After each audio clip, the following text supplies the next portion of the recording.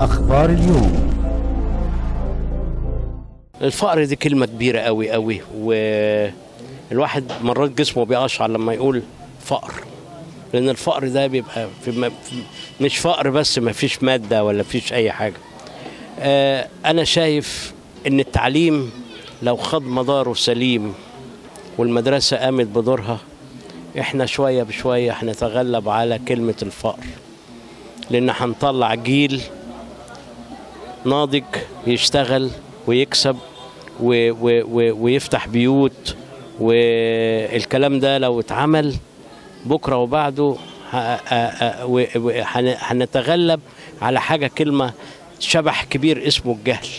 الجهل ده هو أسباب الفقر مش الناحية المادية. الناحية المادية ممكن سوري يعني النهارده واحد بيشتغل آآ آآ وبيدخل وبعدين تلاقاه برضه فقير الحالة اللي إحنا فيها في المجتمع المصري علاجها الوحيدة التكاتف التكاتف والترابط للوصول إلى التضامن المجتمعي ال- ال- ال- اللي كان موجود في المجتمع المصري من فترات قبل حدوث ثورة التصحيح اللي هي في بداية. آخر الثمانينات وأول التسعينات كان كل زي المجتمع يقول لك نحن جميعا نعيش في مجتمع واحد منقسم إلى مجموعة أسر إنما الآن هو مجموعة المجتمع الغني ومجتمع الفقير الطبقة الوسطى التي ينتقل إليها. من الأعلى من الأسفل للأعلى وهي درجة الوسطية مش موجودة أو انح- تحللت أو بتتحلل. والغني اللي هو أصوله ينزل للطبقة الوسطى اللي هي طبقة المجتمع اللي طالع منها جميع قيادات الدولة اللي هي الطبقه الوسطى الطبقة المثقفة المتعلمة وليس الطبقة الغنية. دي طبقة بتندثر. بتندثر ليه؟ لأن ما بقاش في نوع من أنواع الترابط والت- والتناغم ما بين طبقات المجتمع. الغني غني شديد الغنى والفقر يزداد فقرا على امد الدهر.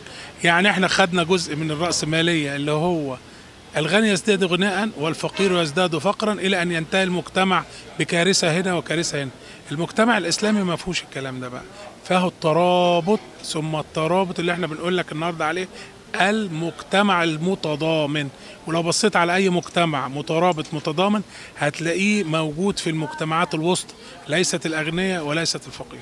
يعني إحنا نعتبر عاملين شبه تكافل إن حتى بعد رمضان الحاجات اللي بتتبقى دي إحنا عاملين فريق فريق عمل بيروح البيوت اللي هي محتاجة وبنوزع عليها الحاجات اللي هي متبقية ديت بحيث إن ده بيحتاج إيه وده بيحتاج إيه بحيث إن هي تروح في المكان المناسب.